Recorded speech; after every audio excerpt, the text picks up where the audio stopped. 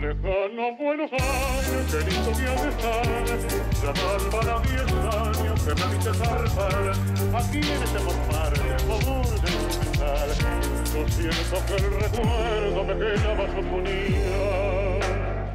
Gardel aparece en mi vida desde muy chico, caminando por, por las calles de, del barrio acá de, del Magro, del Abasto, que es también mi barrio. Pasábamos por acá y me decían, Gardel no se murió. Entonces me quedó siempre eso, ¿no? Pasar, mirar, prestar mucha atención, hasta que después uno ya creciendo toma conciencia. Y este mito, aún vigente, nos cambia todo el tiempo. Creo que los porteños somos un poco Gardel, ¿no? Nos cambió la vida para siempre.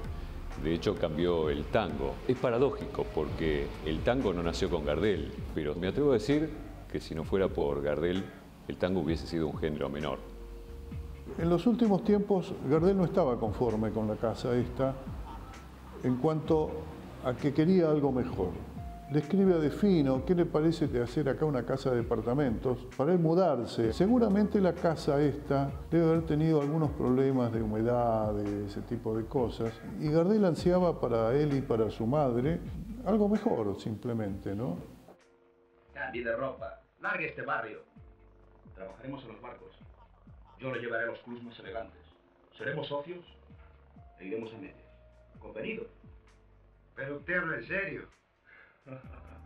Esta casa, ahora museo, no lucía siempre como hoy, recuperada y con este esplendor. Y la verdad que fue una emoción tan grande aquel día de inauguración.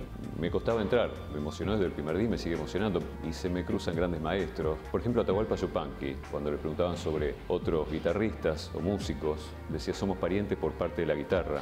A mí se me cruza pensar que todos somos parientes por parte de Gardel habrá cambiado tu calle corriente. Soy Pacha Esmeralda, tú mismo arrabal.